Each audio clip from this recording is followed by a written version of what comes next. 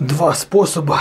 Сегодня я вам дам проверенных, как заработать на Сбербанк. Но прежде чем я расскажу про эти способы, есть несколько моментов, про которые я хотел бы сказать. Первый момент. Вы часто мне говорите про Сбербанк. Почему я якобы пиарю Сбербанк? Мне он, скорее всего, платит деньги. Но Сбербанк мне ничего не платит. Но если бы он бы мне платил, заключил какие-нибудь рекламные контракты, я бы, честно сказать, не отказался. Дело в том, что Сбербанк это популярный бренд. И в первую очередь ищет именно Сбербанк. Он занимается монополией. Банк есть в любом регионе, даже в самой глуши. Даже сейчас вот они уже в Крым идут. Там будет, наверное, монополия, поэтому я использую просто раскрученный популярный бренд. И за счет этого я, честно признаюсь вам, раскрутил YouTube канал. Вот скажите честно, даже напишите в комментариях, кто меня нашел и мои видео за счет того, что искали вы именно Сбербанк. Многие как раз таки открывали брокерский счет, инструкции по Сбербанку инвестору, как он работает именно за счет моих роликов. И вот к этому мы приходим, то что за счет Сбербанка я продвигаю свои социальные сети. Это нормально. Второй момент, который я хотел бы обсудить, это то, что вы часто говорите, вот Сбербанк обдирает, тому подобное население. Друзья, обдирают людей, тех, которые неграмотно не читают договоры и не изучают ничего. Сейчас, благо, есть онлайн, пожалуйста, заходи, изучай любые банковские продукты, изучай, как они работают. Не доверяй менеджерам банков, сотрудникам, про это у меня будет еще отдельное видео. Все зависит от вас далее. Дурят, обдирать на самом деле везде. Даже ваш сосед может вас же обдурить. Ну, не только это в Сбербанке. Каждый хочет на ком-то заработать. И жизнь такую сторону, что кто-то на ком-то всегда зарабатывает. Еще раз говорю, если вы будете финансово грамотный, то никаких таких проблем не будет. И отсюда делает вывод, а кто вам лично не дает зарабатывать на всех этих вещах. Банка зарабатывает на других людях, на безграмотности. Кто вам не дает быть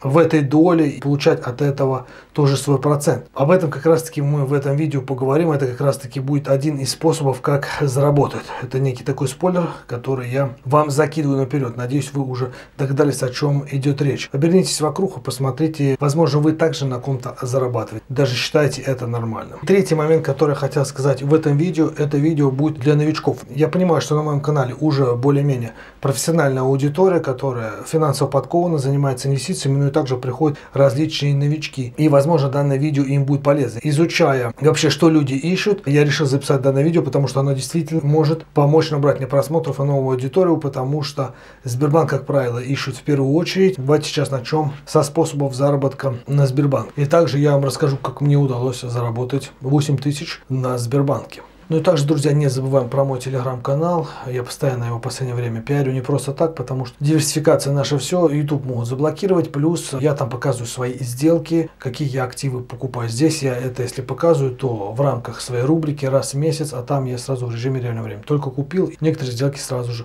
выложил. Я думаю, даже большинство да, хотело бы зарабатывать за счет крупной компании, которая действительно пылесосит деньги вообще по всей стране. Тем более это финансовый сектор, у которого является продуктом деньги. Деньги они всегда будут востребованы, плюс оплачиваются квитанции, получаются пенсии, но много чего, да, и все это через наш Сбербанк. И значит, давайте поговорим сейчас о двух способах, за счет которых мы можем заработать на таком гиганте, да, гегемонии, как наш зеленый большой банк. Итак, значит, первый способ, как ни странно, я думаю, про этот способ все знали, это, конечно же, депозиты. Мы можем дать свои деньги взаймы банку, банк уже будет распоряжаться грамотно, раздавать кредиты, возможно, покупать какие-то инструменты, зарабатывать больше, чем нам дает, и, соответственно, выплачивать выплачивать с этой разницы нам процент. Многие используют э, данный инструмент, хотя есть такие люди, которые мне в комментариях писали, что я не доверяю банкам, лучше держать наличку и тому подобное. То есть люди готовы получать отрицательную стоимость своих денег, но зато они не понесут в этот зеленый банк, ну или даже в другой банк. Сбербанк, э, да, немножко жадный, э, процент он ниже других банков, но из-за того, что он занимает монопольное положение и он стабильный. Когда вот кризис вот этот лупанул, большинство, видите, банки там поступили не не очень Сбер, по крайней мере, даже перевел. Активы инвесторов верно, валюту не ввел. Комиссии довольно-таки плохо себя показал, несмотря на вот эти моменты. Люди, которые дают деньги в долг, а Сбербанку хотелось бы побольше. Хотя, честно скажу, сейчас тоже неплохие проценты. Уже даже по 9% раньше Сбербанк давал гораздо хуже, чем сейчас. Сейчас даже уже ближе к ключевой ставке и даже чуть выше он дает. Не такой уж он и жадный. Об этом я обо всем рассказывал. Вот такой вот один из вариантов. Сейчас мы поговорим о втором способе. Данный способ мне в конце мая месяца принес 8 тысяч рублей. Второй вариант это, конечно же, покупать акции компании Сбербанка, покупать доли, быть акционером Сбербанка. И вот представьте, если вы будете акционером Сбербанка, вы будете зарабатывать часть тех денег, которые Сбербанк пылесосит, как вы говорите, с неграмотных граждан и со всех э, подряд, покупая акции. На вас будут работать все сотрудники, директора, они будут зарабатывать прибыль и частичку с, этого, с этой прибыли, в зависимости, какого у вас пакет акций, вы будете получать. Кто вам мешает ваши негативные установки про Сбербанка превратить так, чтобы эти негативные установки пополняли ваш карман. Я думаю, никто вам в этом не мешает. Вы можете купить акции Сбербанка. Для того, чтобы купить, нужно открыть брокерский счет.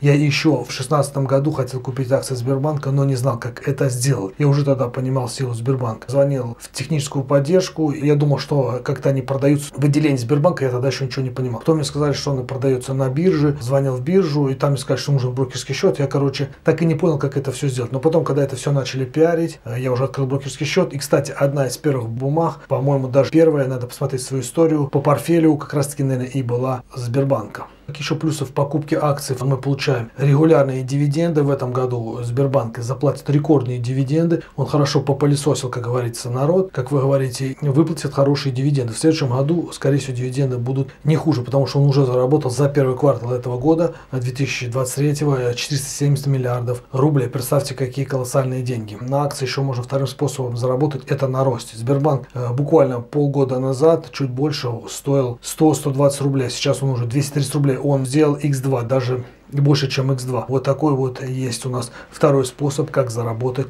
на Сбербанке и использовать монополию Сбербанка на наше благо. Давайте теперь поговорим о рисках э, этих способов. Нужно понимать то, что это же у нас идет инвестиция. В первом случае мы даем деньги в долг банку по пользу. Второе, это мы покупаем долю в капитале бизнеса и имеем процент от прибыли банка, да, который он распределяет. В первом случае, если у нас депозит, это более консервативный, стабильный инструмент. В нем есть страховка до миллиона четыреста рублей. Ну и плюс нужно понимать то, что со Сбербанком вряд ли что будет. Там что-то в районе, по-моему, 6 триллионов у него только был чистый капитал, по-моему, вот они раскрывали. И он растет из года в год. Сам даже по себе банк оценен сейчас не так уж и дорого. Понятное дело, что уже оценка подросла банка, в отличие от 22 года, но все же здесь стабильные проценты, но они у нас, как правило, маленькие. Ну, какие-никакие они есть. И нужно просто зайти, да, у нас открыть, посмотреть, какие у нас есть там варианты. Даже сейчас есть накопительные счета выгодные, не только вклады. Второй у нас способ, да, инвестиции в акции, это более агрессивный способ. Здесь можно действительно потерять деньги, и здесь не гарантированы дивиденды, здесь не гарантирован рост акций.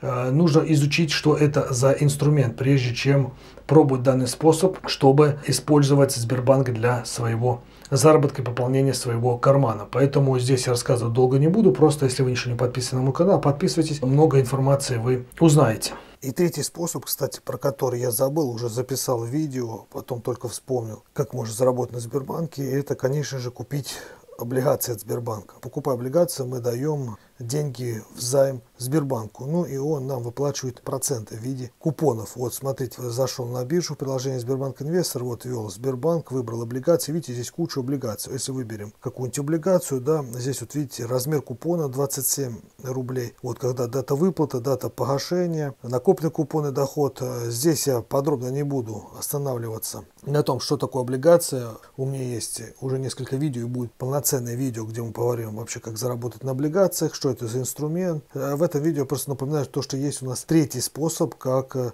заработать у нас на Сбербанке. Это купить его облигации. Облигации тоже имеют свои риски. Они так же, как и акции, могут просаживаться, могут объявить дефолт. Все можете потерять по облигациям, так же, как и по акциям. Компания может обанкротиться и все. Еще раз говорю, вы должны э, эти инструменты, в том числе акции, облигации, депозиты, вы должны изучить отдельно и понять вообще, как работают эти инструменты, прежде чем в них инвестировать и принимать какое-то решение. Я здесь всего лишь даю варианты, которые есть, а уже вы должны сами выбрать варианты. Я, например, облигации Сбербанка не держу, у меня только вклады, накопительные счета и акции. Я предпочитаю покупать облигации государственные. У меня есть акции Сбербанка, и я планирую увеличивать количество пакетов. На сегодняшний момент у меня 380 акций на момент записи этого видео. Хочу в будущем нарастить до 1000 акций. Будем по чуть-чуть капливать акции Сбербанка. Сбербанк Сбербанк неплохо себя показывает. Не просто так же вы жалуетесь, значит очень хорошо там работает менеджер. Так вот, э, я не против, чтобы эти менеджеры,